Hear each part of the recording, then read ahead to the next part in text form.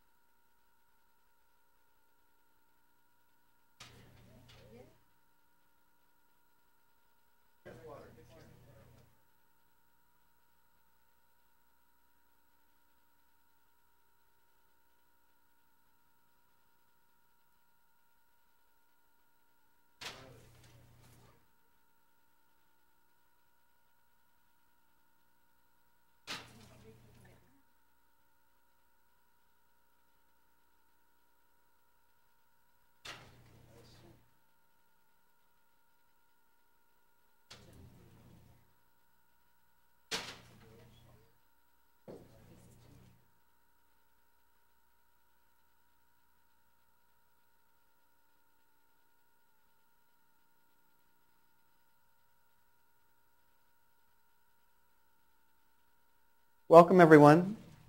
Thanks so much for joining us this afternoon and delaying the start of your spring break. It appears as you walk across the campus that a number of our students have gotten an early start on their break. Delighted to welcome you here. I'm Jim Goldgeier, Dean of the school, and uh, very delighted to have Maria Otero here for our Dean's discussion. Uh, it's a great time to have her here given uh, the issues that she's worked on and given all the, given all the things that are in the news, uh, in particular uh, events in Syria and Ukraine, but uh, there's plenty of other things that we can talk about. Maria was uh, in the first Obama term, the Hillary Clinton State Department, was Undersecretary of State for Civilian Security, Democracy, and Human Rights, and in that position oversaw U.S. Uh, policy on, the, on a global spectrum of, of civilian security issues, including population, refugees, human trafficking, narcotics, global criminal justice, and countering violent extremism. Uh, and she also served as the President's Special Representative for Tibetan issues. Uh, she was formerly president and chief executive officer of ACCION International, which is a leader in microfinance and economic development. Uh, and prior to ACCION, uh, where she worked for 23 years, she was an economist for Latin America at the Women in Development Office of the U.S. Agency for International Development, also served at the Center for Development and Population Activities, and was an adjunct professor elsewhere in Washington, D.C. before joining the State Department. Um, so uh, it's great to have you here. Thank you, thank you. It's a She's an old friend of SIS, so it's really wonderful to have her here uh, with us at SIS.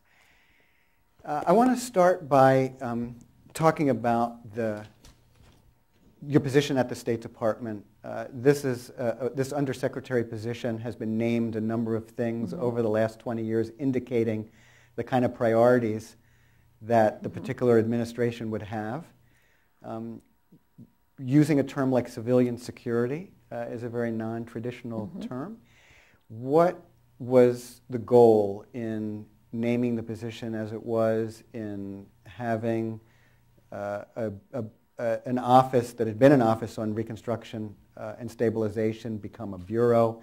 And how did that fit in with the larger goals of Secretary Clinton in trying to reshape American diplomacy and development uh, after a period in which most of the emphasis in U.S. foreign policy was on military Yeah. action. Yeah. Um, well, to try to put it in, uh, in, in a summarized form, and, and let me start by saying that serving as undersecretary um, and working for Hillary Clinton were two of the highest honors of my life. It was really wonderful to represent this country.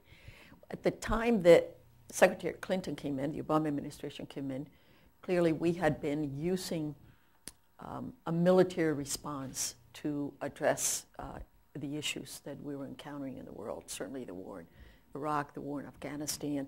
And I think Secretary Clinton, um, while emphasizing the importance of the role of global leadership that the United States should play, uh, found it very important that we really rebalance the way in which we address our foreign policy and our, our foreign affairs, and that we make greater use of, di- of diplomacy and also of development. So the, this idea of the three Ds, where one had just really taken over.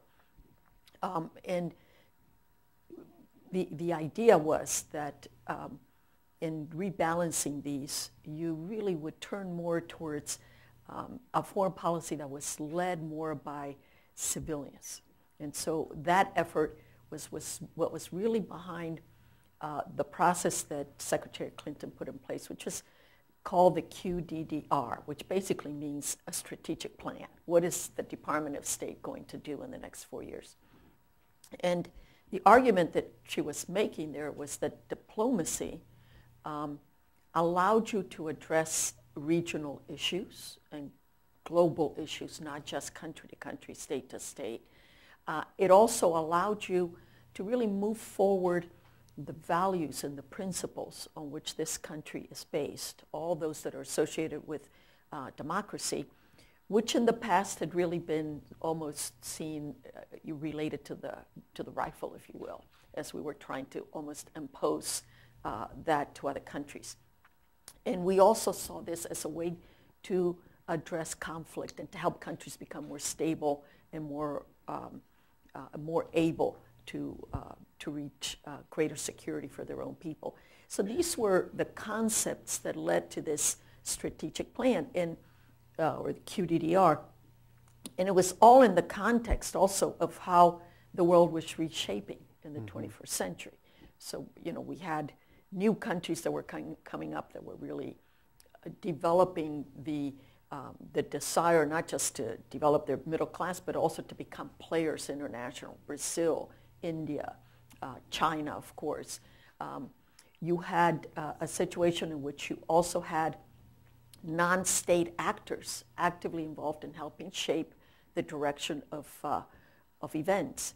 And some of those non-state actors were corporations, civil, civ, um, civil society, NGOs, other players that really have become very influential players. So how do you deal with them within the context of foreign uh, policy? And there were also other uh, non-state actors, uh, whether it was organized crime or um, terrorist groups, extreme groups, others who were deadly and who provided really threats that, uh, that cross borders. And you were also more aware of some of the issues that the world faced that really transcended national borders as well, whether it was climate change, uh, whether it was uh, issues related to disasters uh, or terrorism itself. So, you know, all of these things became part of the context, the way in which technology had evolved with uh, technology enabling people, individuals, to affect the course of events. And we certainly saw that much later in the Arab Spring, um, but also with the problems of cybersecurity. So, you know, I think when the Obama administration came in, uh, we really looked at how different the world was and how much we needed to make use and create tools in, um, in diplomacy that we really hadn't used. And so one of those was the one that was related primarily to my area of work because uh, part of what uh, Secretary Clinton believed was so important in the diplomacy was to find ways in which we as the U.S., with the leadership we provide, could help countries protect their own people, um, could help countries make greater use of the rule of law, become, develop more stable societies, uh, develop more just societies. So this concept of security, of countries developing increased security to their own people, became even more important because so many countries were in situations of conflict. Um, you know, I think at any point in time you have about 50 countries mm-hmm. around the world mm-hmm. where some kind of internal or other issues coming up. So with all of this, she decided to take those pieces of the Department of State that in one way or another could contribute to or, or could enable us to contribute to developing, helping develop security in other countries. And she brought them all together. And one of the things that's very interesting about how she did that is that she took hard, what are called hard security issues, um, issues related to terrorism, to organized crime, um, to um, topics that relate directly to, to those kinds of uh, concerns.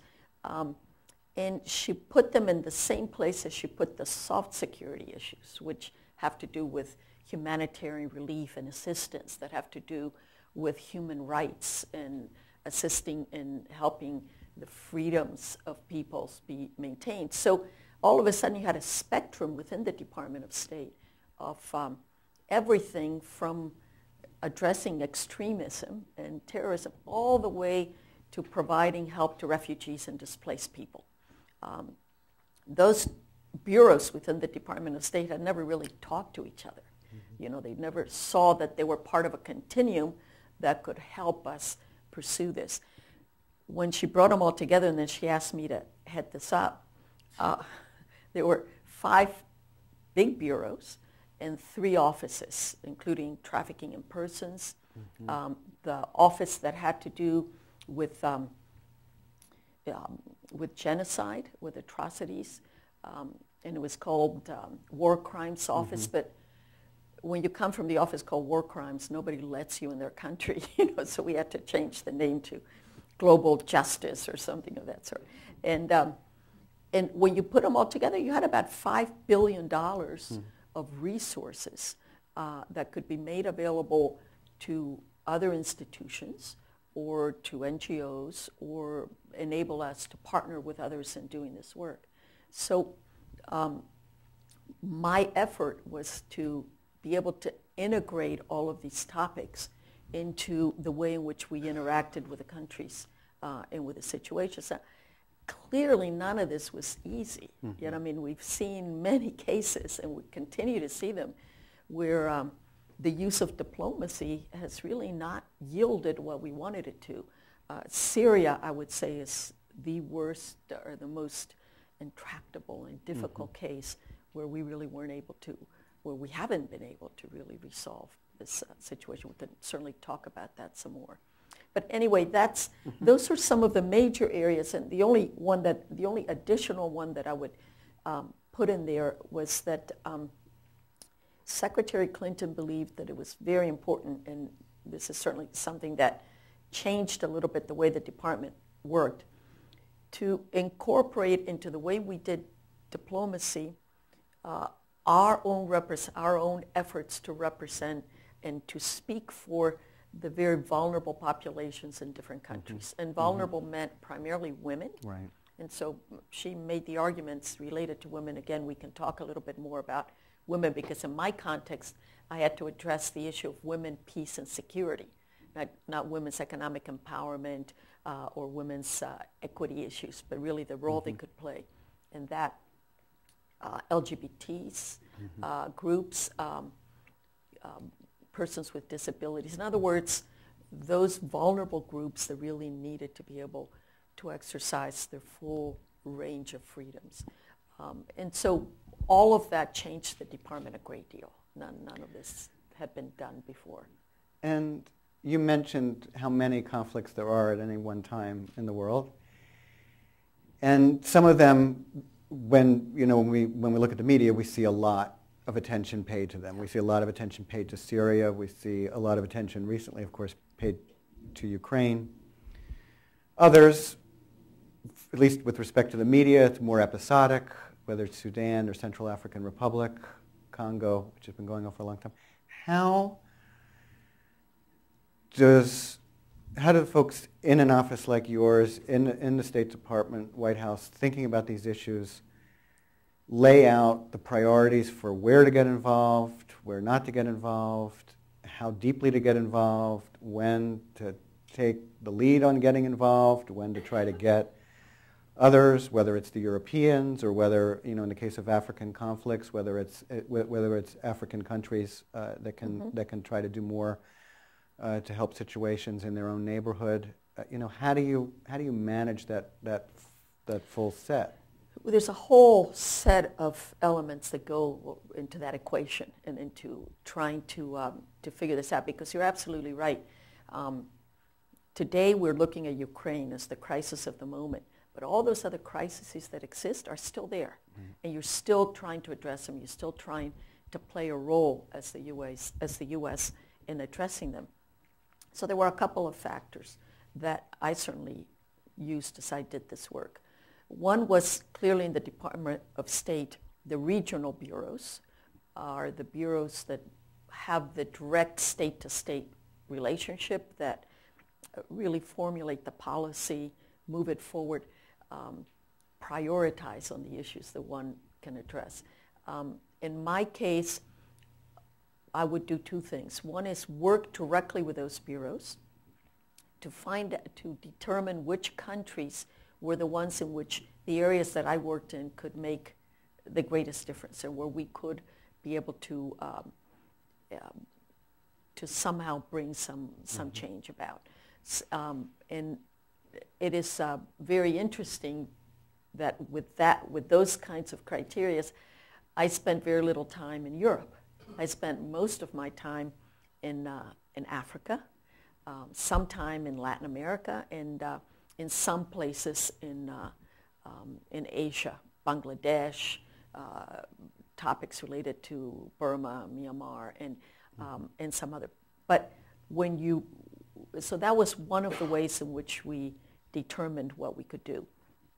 Um, the additional thing was then you had to really prioritize because um, we are talking about a time of very scarce resources. Um, so if you add to all of this how it is that the U.S. can move this forward, the defense budget uh, compared to the budget of the State Department is, you know, you can't even compare them. There's many right. zeros right. that are present in one and not in the other. Right. So being able to carry all this out then meant also that you had to find different ways of uh, interacting. You could form partnerships with other countries and uh, depending on the issue, there were countries in Europe that were very intent. France, certainly in Francophone Africa, uh, would play an important role. Uh, Norway was particularly interested in uh, countries like Indonesia or some mm. other countries so that you could really work closely together um, in a way that you could then leverage each other. Um, you could also bring in, interestingly, the private sector mm-hmm. in a way that uh, the Department of State had not done.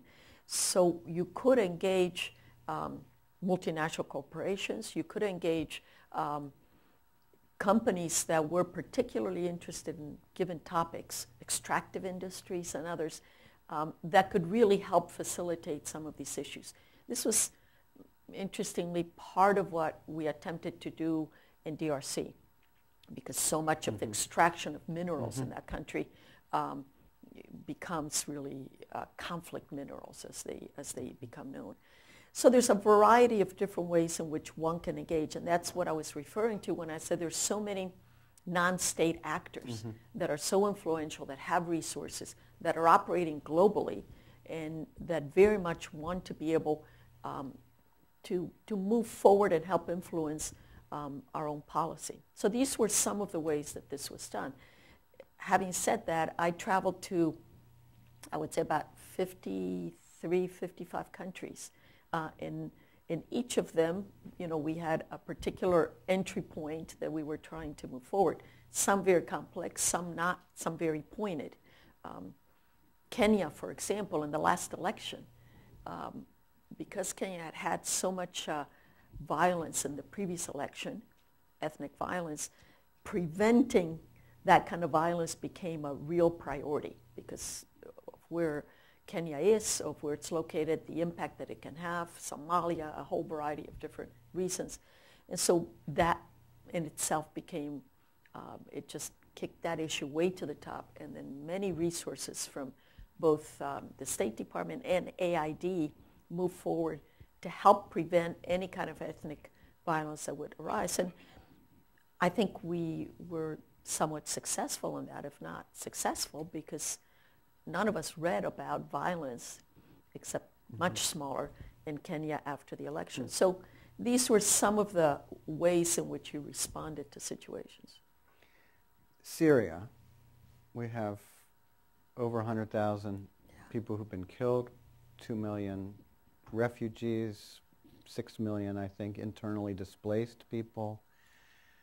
Uh, your former colleague, former Undersecretary of State Tara Sonenshine, wrote a piece yesterday in which she argued that we really need to focus on humanitarian intervention and, you know, with all the other things that are going on with respect to Syria, we've got to get uh, assistance in there now uh, to help the population in Syria. How, how how would we go about doing that, and what are the prospects for alleviating some of the suffering that's taking place? Well, for starters, we are doing an enormous amount mm-hmm. in that already. But, you know, in Syria, just, just to say a couple of words, I, I worked on Syria from the very beginning. When the Friends of Syria were formed, which was about 70 countries that met right when the crisis started, um, and where, where we were trying to help the opposition to Assad um, become more coherent and be able to develop a unified voice with unified leadership. Um, that has never happened, as you well know. Um, and that, from my perspective, is the major reason that we were really unable to help Syria move to uh, a point in which it could, uh, um, you could resolve the issues without the kind of bloodshed um, and, uh, and tragedy that you have now. And to date, there is really still no, no Syrian opposition that mm-hmm. you can name, and there is no mechanism where internally the country can, uh, can address the issue. So that, and I don't see that changing. In fact, as we see more extreme groups coming into that open space, uh, it's more and more difficult to think that we're going to be able to resolve it. The, um, displacement of Syrians began very, very quickly. And, and it started um, in, in um, Turkey. And um, the Turks wanted very much to be able to control the, um, the flow of refugees, but also to build the camps themselves and to manage them themselves. Um, and so that is one of the ways that that's happening. And it has its downsides because the way that we work and humanitarian aid, in, which we're doing in uh, Syria, is by providing most of the resources that we have. And we provide about 25% of the budget of humanitarian agencies around the world. Mm-hmm. So we are probably, not probably, we are the most generous in this area, mostly through the UN High Commission on Refugees, uh, the Red Cross, and a couple of other ones. Um, and so that's how we are doing it in, uh, in Syria. And we are, there are refugee camps um, on the border with Jordan, with Lebanon, and uh, with Turkey. And people are now, I visited one of those camps in Jordan where there were two tents there when I was there. I mean, just a huge open space where they were going to put up 5,000 tents to begin with because they saw that the crisis was continuing. And um, today, the, there's probably 200,000 there. Now, um, the, the conditions in those camps, even if you try to do as much as you can to make them, to give them some quality of life, um, it's still, you know, 120 degrees during the day when the sun is shining, and inside your tent, you can't do anything about mm-hmm. that. So um, the um, and and because the problem is increasing, we can see that those camps are going to continue growing. Now, the um, the United Nations um, High Commission of Refugees does appeals whenever they need specific uh, added resources for specific uh, uh, refugee situations like uh, Syria. And Tara is completely right. I think we need to step up the amount of resources that we have because we have a whole, really a whole generation now living mm-hmm. in these camps mm-hmm. that are not schooled, that are really, uh, really lost. It's not the first time. Somalia was the same. Um, the refugee camp between Somalia and uh, Kenya called Dadaab um, has over four, had, I mean things are over 400,000 people in it. Uh, and it made it the second largest city in Kenya. So, and when you spoke to people there, some of them had lived there for 12 years, 15 years. So we're beginning, we're seeing the same thing in, uh, in Syria, and we do need to put resources forth um, to just address the, mm-hmm. not only that situation, but also the way that it will impact other, other, other countries around it. I want to be able to move uh, to you guys to um, get questions from you, but I, I, I did want to um, ask you one more, which is when you look back at the time uh, in the State Department, uh, what do you what do you feel were your uh, was or were uh, greatest accomplishments, and what are the things that you'd wished you'd had more time to address and that you hope will still get addressed? It's, you know, one of the difficult things about diplomacy is that there's never a beginning, middle, and end. You know, it's, it's just ongoing, and it's, so it's difficult to point to one specific uh, accomplishment. Um, and in my case, um, I can remember pointed situations where my input um, change the situation to improve the lives of people in, in a significant way. Um, for example, uh, women who were uh, domestic servants in, um, in Jordan from Indonesia who could not go back to their countries but who were being abused in the homes that they were in. Uh, my efforts helped really free them. And so those kind of particular examples are the ones that remain with you. But more, obviously, more importantly, um, I think one of the things that we were able to do was incorporate into diplomacy issues and topics that had never really mm-hmm. uh, been discussed, you know, when two diplomats talk to each other. Um, and uh, I would say issues related to trafficking in persons, uh, to the needs to address uh, the needs of women, uh, and some of these other topics that I've mentioned um, were enormously important. We brought human rights to the table, um, and as much as we possibly could, uh, we pushed on those in a way that uh, would um, would show that our our policy was right rights based to the to the extent that you possibly could. Of course, you, we know that in Egypt and Russia and other places, you know, we, we have not been very successful. Um, But bringing those issues in and making them part of our policy was, I think, very important. One area that I worked in a lot was in the issue of water. Mm-hmm. And uh, um, water not just as a problem of access to water. There's billions of people that don't have access to water and to sanitation.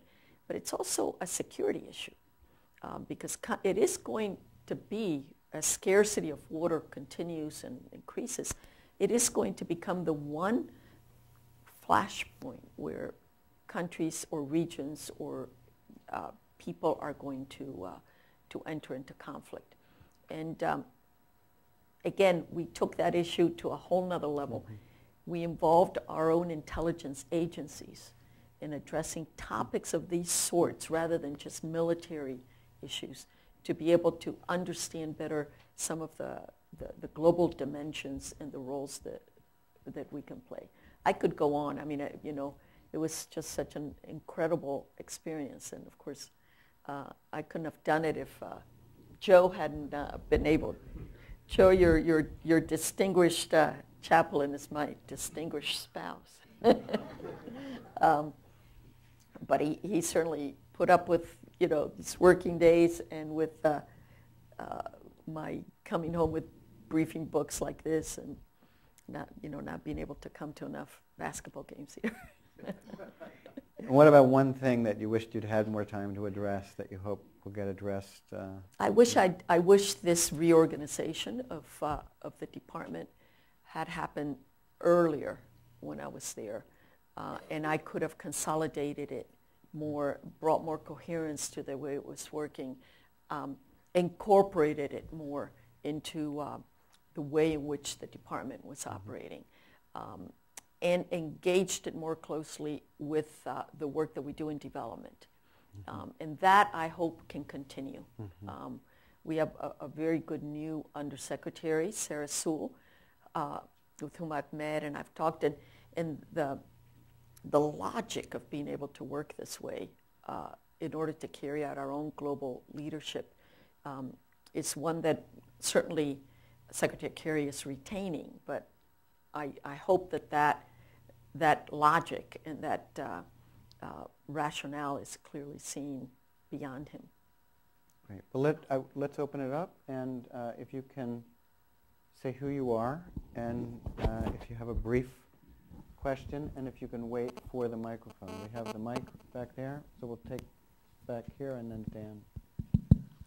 I'm Michael Miklaucic from National Defense University. Ma'am, it's good to see you again. When How the G, when the G family was being born under your leadership, and you asked Ambassador Dobbins and uh, Professor Adams and me to come and discuss yes. the creation of the new family of bureaus.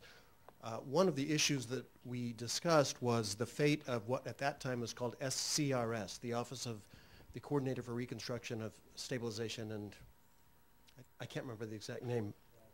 Uh, the President has subsequently made pretty clear that we are not going to be tooled up for major expeditionary uh, activities overseas. At that time, we were in the process of building a, a civilian response corps, a civilian reserve. That's all been dismissed.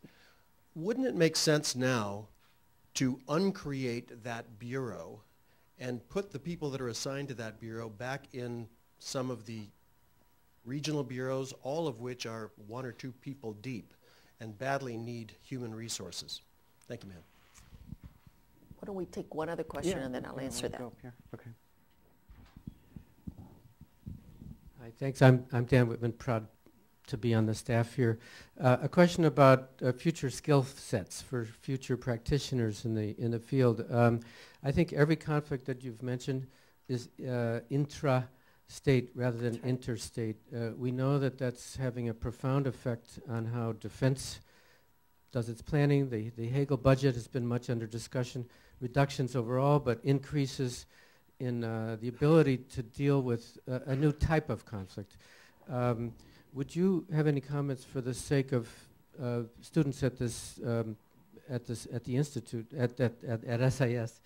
Um, what are the skill sets that will be needed because of the nature, the changes in the nature of conflict, which tend to be more internal than external? That's a good point.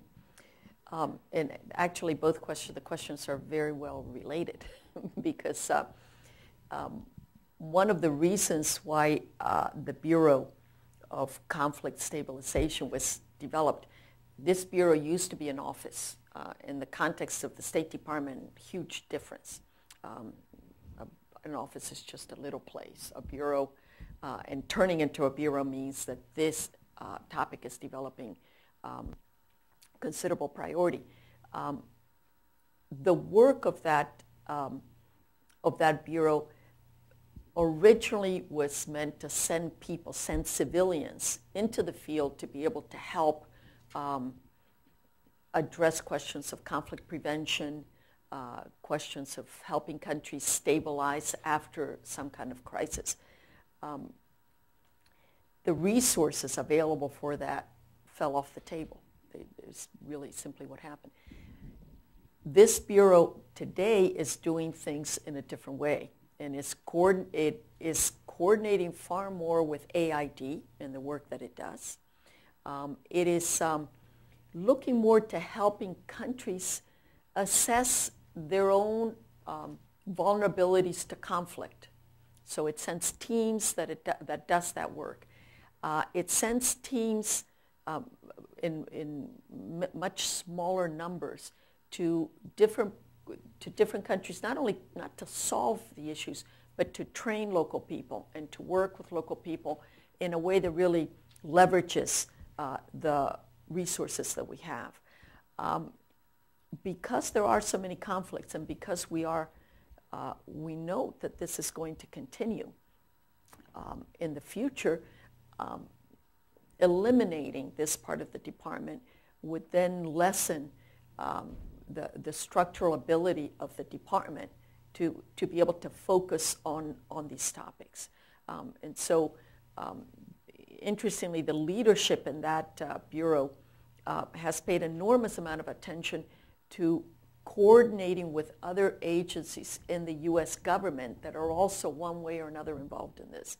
Um, and we're advancing with that. The, the biggest shortcoming is the shortness of resources, which is, uh, you know, which is one of the problems that, uh, um, that I think is going to prevail as we see this. And as uh, we begin to, um, to, to see this, uh, this issue that, that you are raising, um, because when we're thinking about uh, the kind of skills that one can develop, um, certainly not that long ago, um, there weren't really disciplines when you worked in international uh, affairs or in international development that had to do with peace issues, with conflict uh, resolution, with uh, topics of reconstruction and stabilization, with, tropi- with topics of preparedness. Um, and so part, I think, of what we've seen has happened to the curriculum in a school like this is that it has really evolved to address some of the issues that as we see in the future um, are going to be enormously important. Um, one area that I think is um, really key to, um, to understand because I think it's going to play an even uh, more important role is technology. Um, not just social media and so on, but really the concept of cybersecurity overall and how that um, can influence um, the way in which uh, uh, the way in which um, events unfold. Um, while I was at the Department of State, we had WikiLeaks also, and after I left the Department of State, we had the Snowden issue, which maybe Joe can tell us what went on because you just did an event on uh, on whether Snowden was a traitor or a hero, a patriot, and which is you know really, I mean, these are really important issues mm-hmm. that are going to play into the way in which we, we think about our diplomacy in the future. And, um, and I think one of the things that's also very interesting is that many of these are playing themselves out also in development. I mean, development, of course, it's about health and about um, economic empowerment that I worked in all my life. Uh, but it's also about human rights. It's also about creating that whole structure that can allow a country to enable its people to improve the quality of their lives. And so um, courses that have to do with, um, um, with international rule of law, with human rights, with uh, the topics that are so much part and parcel, not just of our beliefs, but they're incorporated into the Universal Declaration of uh, Human Rights. And so th- those areas are, I think, um, enormously important. And I did not appreciate those, I have to say, um, to the extent that I do now, because my focus had always been more economic development and more um, um, even balance sheets and you know looking at issues related to uh, um, making um, capital available to poor people. But all of these other topics are the ones that are going to be enormously essential if we're going to help countries develop good governance. And uh, without that, then it becomes more complex. We did on this regard, we had a, we had a Dean's discussion in the fall with Assistant Secretary Rick Barton.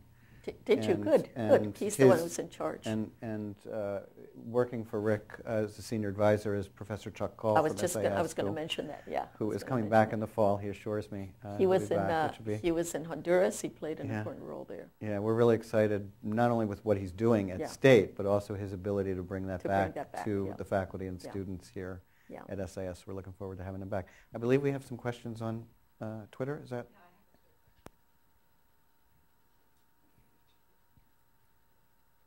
Thanks. Uh, Anya Schmemann. Um, and we have a question on Twitter. People are following with hashtag Dean's discussion.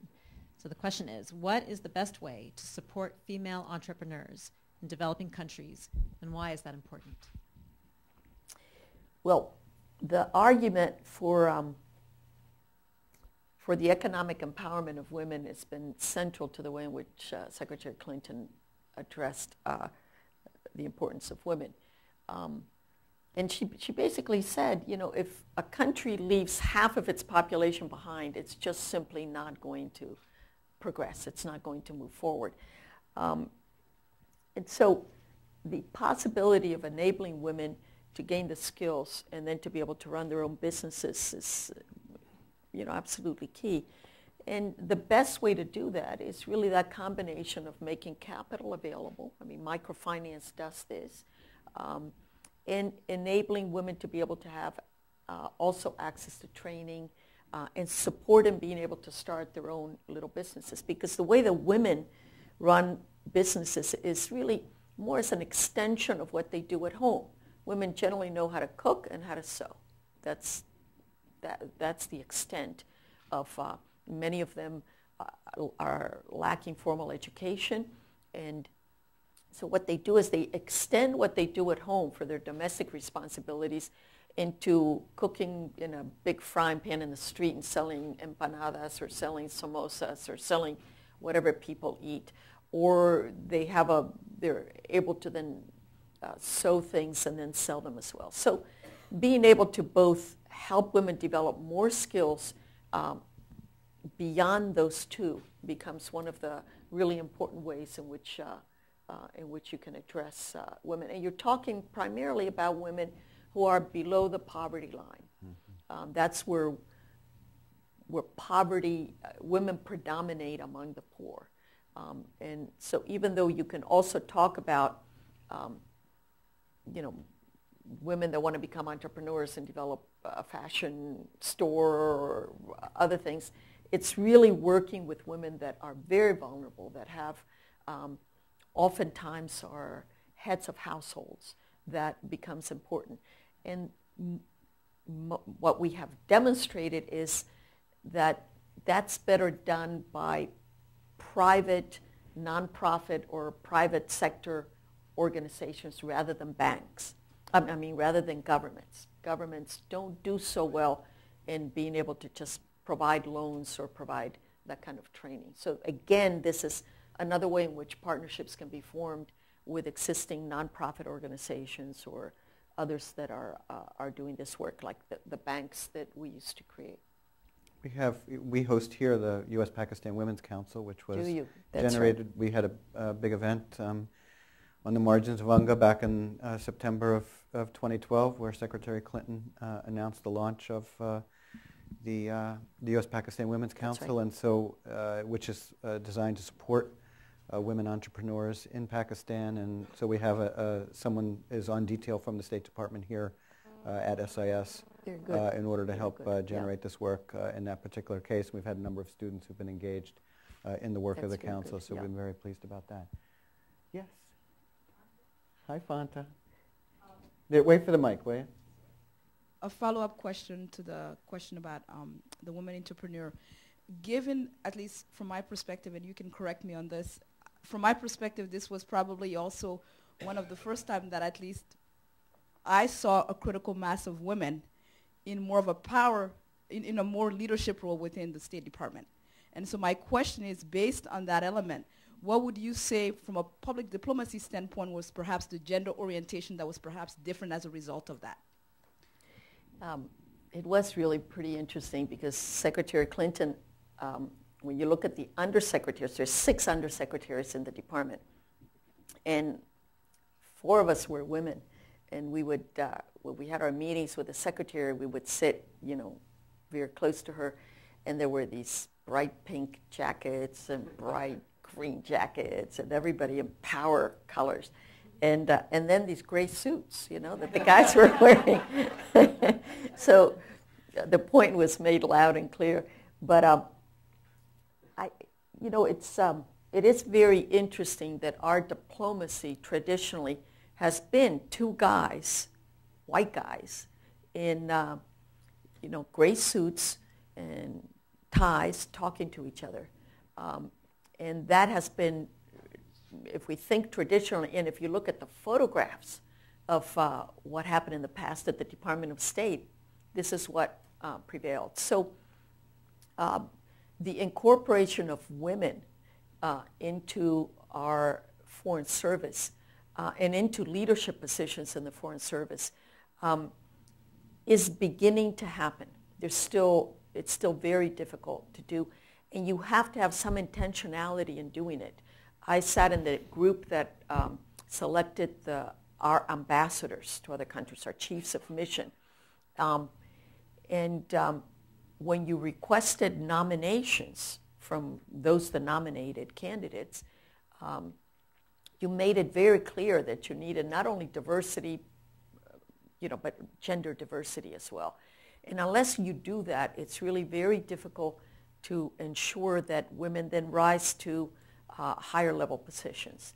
Um, one of the, I think one of the impacts that Secretary Clinton had was actually change the, the focus of, uh, that diplomats had on this issue, which was, oh, women's issues, they are out there. Let women take care of them. But when she made the, the equity, the social, the economic arguments, and then the peace and security arguments, um, it became very clear that you couldn't really leave that out when you were carrying out your policy. And you had to be able within your own department to create mechanisms to be able to have uh, women play important roles. It's very interesting that under Kerry, um, there are even more women in um, positions of, uh, of leadership. Uh, if, if, you look at the regional bureaus, um, you have, uh, you know, more women certainly than when I was there as well. So, but, but this is something that really needs to be done in a way that, uh, that, um, that you pay attention to it because it's still uh, not going to happen um, very, you know, on its own. I don't know if that answers your question. Yeah. Yeah. And then we'll go up front. Why don't we put, I'll tell you what, I have, there, there are three folks who have their hands up. I'm going to take the three questions and then we'll let you respond. All right. Okay, so we'll start with Phil and then we'll go up You're to the going to have to help me remember. I 'cause will, that's Two might be the All right. most I can remember. Philip Brenner, I'm a professor here in SIS. Hi, Phil. Thank you very much for coming, and we hope that you'll find a more permanent way of being in SIS in the future. um, and uh, my question is about empathy. About, Empathy. Uh, you are a, a person who had a lot of experience in the third world, um, and you came to the department with an ability to empathize with uh, people in other countries. Uh, did you find that when you brought that perspective to people in the State Department, uh, speaking to the needs of other people and seeing their perspectives, that uh, you were challenged in a way that said, well, the United States has to come first. There's sort of a realist paradigm that says empathy has no place in what we're doing. Or was there a receptivity to the idea of empathy? Very All right, interesting empathy. question. All right, hold on. Empathy. All right, all right. Empathy. Empathy's the first. Then we got the second. Um, also, thank you for coming. Um, my name is Rebecca Bach. I'm an undergraduate here. I recently What year are you? a junior. Uh-huh, great. I came back from abroad, and a lot of the sentiments from the foreign students that I was with was that the U.S. power is kind of on the decline. So I was wondering if you could speak to that, and if there's like any issue with like new trust issues um, with the U.S. government, kind of, and our power role in the future. Great, good. All right, and then Bob.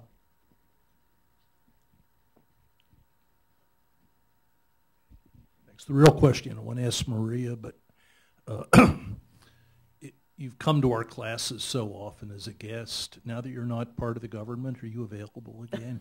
but let me ask a different question for the purposes of this. Uh, maybe building on a little bit as the uh, U.S. foreign power seems to be dropping. Uh, many observers talk about the business world rising and companies uh, getting more involved in not only you know economic development but even some foreign policy human rights issues i'm curious from your time in state did you do very much work with businesses and what potential or what uh, wariness do you see in this as a trend Wow, this- Great. You know, great questions. Empathy. Um,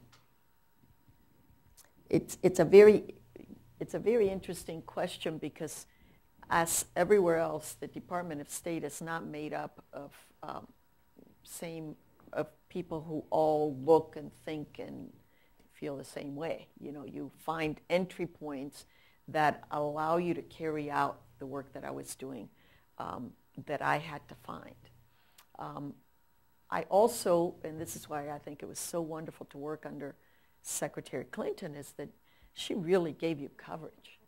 You know, one time, um, well, I'll tell, I, I won't do the one time, but what was unusual was that as undersecretary, I was interested in working to help address these issues in our policy and these issues of vulnerable populations, basically, if you use that term broadly. And um, the, that usually, and a lot of the places where that had to be done were not in garden spots. And so a lot of my travel was to really difficult places um, and to places where undersecretaries didn't usually go. And so when I wanted to do work in the hard countries in um, Africa, for example, in Nigeria, I mean, Lagos, you want to go to Lagos? I mean, it's just so, so difficult to travel and, and work in those places.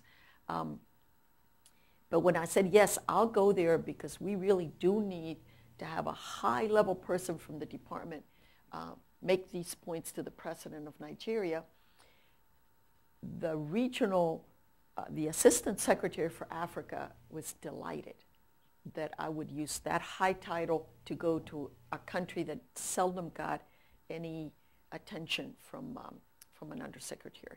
When I went to Belize to talk about issues of LGBT, is a country that doesn't get a lot of focus, um, it was the first time an undersecretary had gone to Belize. So, the, so I had no trouble finding people and finding opportunities in the department that allowed me to play this out. Um, because you were bringing empathy to uh, an, organi- uh, an en- agency that is very hierarchical, that's very structured, and you were bringing it at a, at a very high level.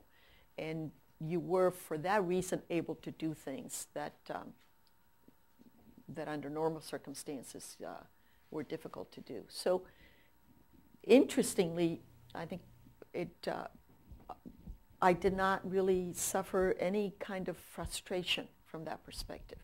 Um,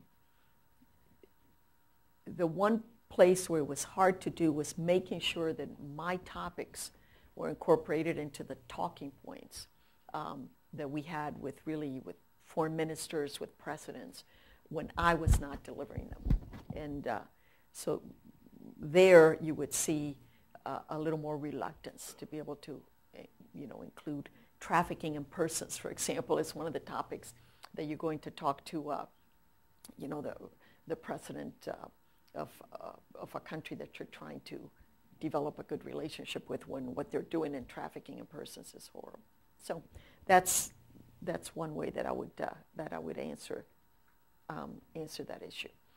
Um, the topic that you brought up about the, the declining role of the U.S., it's, it actually is, um, again, important to look at um, the way in which um, the world is reshaping in the 21st century, where you really no longer, you know, have the U.S. as being um, um, the one, you know, the one country with the absolutely the biggest economy, the biggest power, and the biggest uh, uh, ability to really um, wield a lot of uh, a lot of uh, presence and force.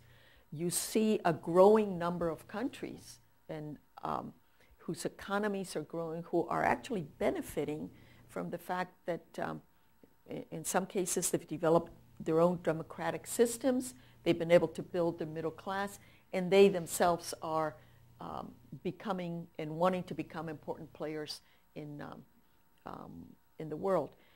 The north-south uh, division of countries no longer really in, indicates the east-west doesn't really uh, work either. So um, part, part of the, the dilemma today, not the dilemma, but the challenge is that U.S. is still in a position to really provide global leadership in many issues for many of the reasons that make this country great um, and that many people uh, respect.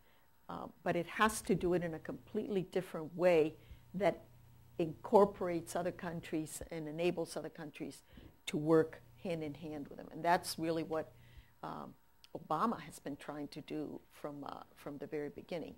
Um, the issues that uh, concern us um, concern other countries because we're so interconnected now. And so you can't really just lead on your own or make decisions on your own. I mean, certainly, uh, I mean, if Ukraine is not an example of that, you know, it's, uh, it's really pretty important. So, uh, so I would, I, I don't know that one, I would say that there is a decline. Uh, certainly if you listen to the Republicans in this country, this is what you would hear. But I have to tell you that in the countries that I visited and in um, the interactions that I had, there's so much respect for this country. There's so much respect for this administration that is promoting and uh, engaging um, itself in a way that uh, uh, makes use of uh, the, the principles and the values that uh, that are so important to the way in which this democracy was created. So, um, but it's very, it's very difficult and very tricky. And then finally on um, businesses, businesses are very involved in uh, trying to shape the agenda of the world, not just uh, to make money, but because they see that some of the, the trends, uh, the threats uh, that we face, that cross borders, will completely affect their ability to operate. So they have become very engaged in everything from climate change to water security to, um, I was talking about conflict minerals earlier, and, um, and they have become very engaged in human rights, not very, I, and I say they, this is some of them, um, in issues related to human rights. Because there is an intersection there where in order to do good business, you really want to also be able to promote um, uh, the rights of people in that country. Um, and um, it is very interesting that the person that worked at the Department of State, Mike Posner, um, and ran the Democracy and Human Rights Bureau, uh, who worked as part of my piece. Mike Posner is one of the most respected human rights um, people. He headed up Human Rights First for many years. Is now, he left the Department of State and he's now at um, New York University and he started a new center called the Center of Business and Human Rights. So again, that intersection, and that would also go back a little bit to the issue that you that you asked. You know, is um, understanding uh, the global economy, global finance, and how businesses play out their work. It's also a whole other area that is very important because you can't disassociate these two things. As multinational, you know, companies did forever. I mean, they they were exploitative and they ignored um, the rights of uh, uh, of people. And now we're beginning to see more and more that the consumer um, is calling on companies to uh, to be um, to be more environmentally friendly, to be more respectful, to do away with sweatshops, and to the extent that consumers continue to do that, the more those attributes are going to actually improve the bottom line. Great. Well, Maria, thank you so much Thank for you. joining us today. Thank you. Thanks. I Want to thank everybody for coming. Want to thank, Thank those who watched on the live stream, and uh, thanks the the staff here for setting this up. Uh, it was wonderful to have you on campus. Thank you. Thank you so much. It's great to be here. Appreciate your coming. Thank you.